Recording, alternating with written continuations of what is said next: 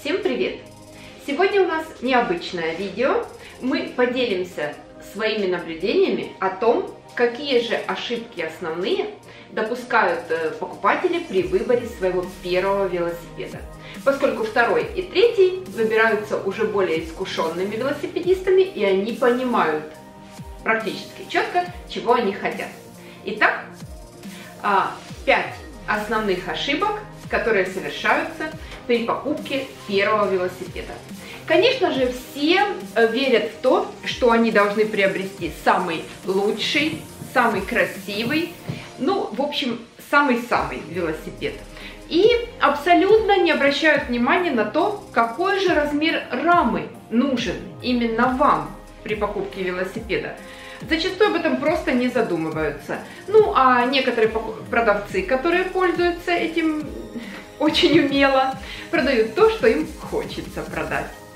Итак, э, вы купили велосипед, который ужасно вам понравился, подошел по цене, но, к сожалению, кататься-то на нем неудобно, болит спина, шея, как-то очень некомфортно себя чувствуете. Вывод, велосипед, скорее всего, все-таки не вашего размера. Что же делать? А, выходов несколько. Ну, как бы основные моменты это, конечно же, подрегулировать под себя, попытаться этот велосипед все-таки. Определенные способы регулировки существуют. Это поднять либо опустить подсидельный штырь. Это первое, что нужно сделать, конечно же, всем покупающим велосипед.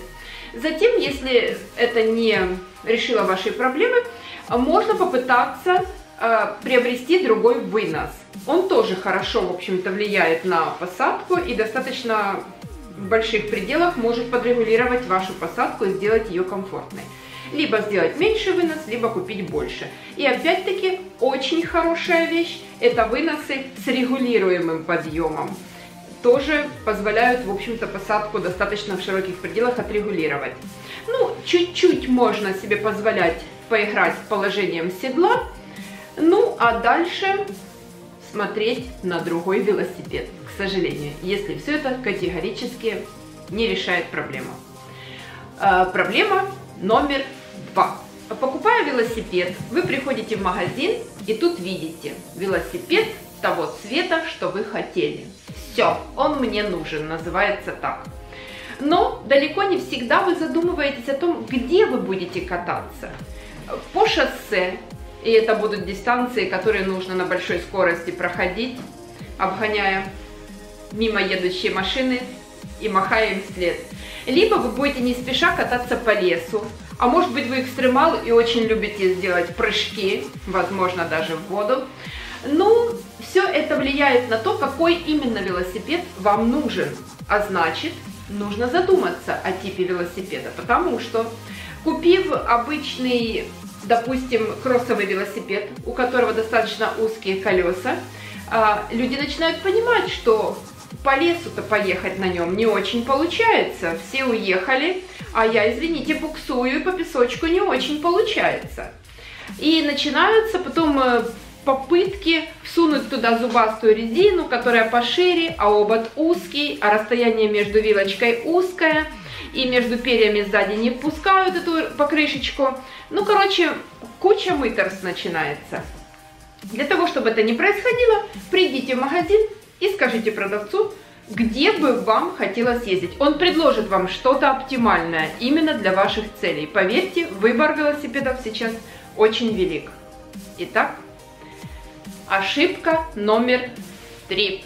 Зачастую к нам приходят покупатели, которые говорят, мы хотим велосипед для всей семьи. И я буду ездить немножко, и жена будет на выходном ездить, жена кнопочка на минуточку, муж там под 2 метра. Ну и ребенок пускай катается, когда там по вечерам. В результате велосипед покупается непонятного размера, который на самом деле мал папе, велик на маму, и абсолютно не подходит ребенку. То есть все-таки ориентируйтесь на основного человека, который в вашей семье будет кататься на этом велосипеде. Другому лучше приобрести дешевый, но подходящий ему велосипед. Ничего страшного, если на первом велосипеде будет оборудование достаточно низкого уровня. Оно все равно будет работать. Четвертая причина, почему зачастую недовольны велосипедом, который приобрели. Знаете, вот такой прекрасный анекдот.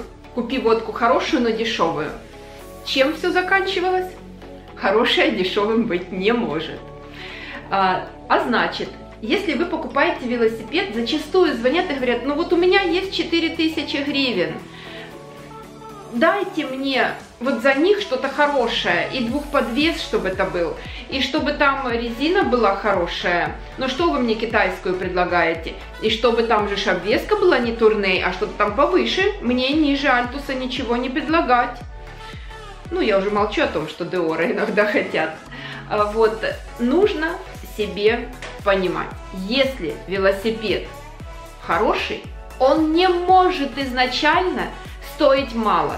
Ну, просто не может, потому что цена, которая заявляется на велосипеды, как правило, рождается из суммы всех комплектующих и компонентов, из которых он состоит. Она далеко не просто так посмотрел на потолок и назначил ее. Поэтому, если уж вам совсем не хочется что-то такое самого низкого уровня, но обратите внимание на велосипеды среднего уровня, посоветуйтесь с продавцом. Возможно, есть какие-то акции, скидки, которые сейчас объявлены. И он вам подскажет что-то акционное, что-то скидочное, подберет правильно вам велосипед и расскажет, даст варианты. У вас всегда есть выбор. Пожалуйста, посмотрите этот, этот, этот. У этого будет рама более высокого уровня, у этого обвеска более высокого уровня, а у этого шикарное седло. Ну, что-то для себя подберете оптимальное и обязательно выберите хороший велосипед. Но из дешевых, к сожалению, ничего не бывает сильно хорошего. Ну, это как бы абсолютная истина, но многие этого не понимают. Пятая ошибка, она основная. Вы скажете, ну хорошо, не могу купить дешевый новый велосипед, я же куплю БУ. И тут мы понимаем, что взрослые это просто большие дети. Они верят в чудеса. Да, чудеса бывают, но крайне редко в нашей жизни. А, БУ велосипед можно смело приобретать, если его продает ваш друг, который четко вам скажет абсолютно честно – падения были, падений не было, я проехал столько-то, вот это нужно заменить, а это здесь плохо работает, а это вот-вот перестанет работать. Либо скажет, здесь все очень классно, и я тебе как другу отдаю очень дешево. Ну, бывают и такие счастливые моменты. БУ велосипед это всегда кот в мешке, за исключением того случая, который я вам рассказала перед этим. Поэтому насторожитесь, БУ велосипеды не исключено, пожалуйста, можно их покупать, но для этого желательно прийти на момент покупки со специалистом, который посмотрит, что же в этом велосипеде нужно будет делать. А, ну и вы поймете стоимость ремонта и замены, сопоставите со стоимостью велосипеда, который покупает, и поймете, нужен ли вам новый или можно взять БУ, поработать над ним доработать его, подремонтировать и безопасно ездить. Безопасность превыше всего, и об этом нужно помнить, поскольку велосипед это тоже транспортное средство. И вы едете рядом с людьми, рядом с машинами, у вас он должен быть в исправном состоянии. Итак, вот основные пять ошибок, которые совершаются при приобретении велосипеда. Ну а веломода желает вам успешных покатушек, только на самых лучших велосипедах, с лучшими друзьями и самых приятных ощущений от ваших поездок.